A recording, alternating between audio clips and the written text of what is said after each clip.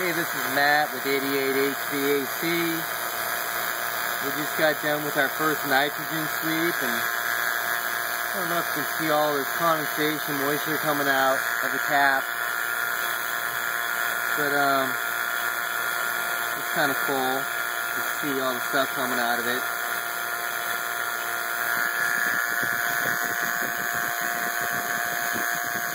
This is the new little Robin Air 5 CFM two-stage vacuum pump that we picked up from Johnstone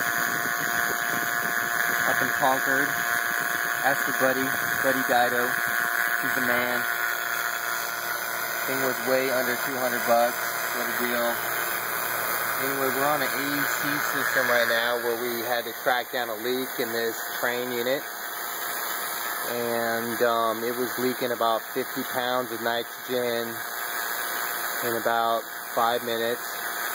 So we took everything apart and checked the fittings and the leak was in the ADP coil where the compression fitting hits the TXV. And so we just tightened it back up and, um, and now we're in our pumping process.